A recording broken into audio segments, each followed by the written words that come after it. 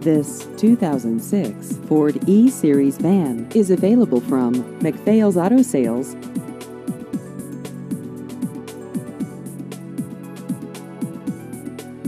This vehicle has just over 46,000 miles.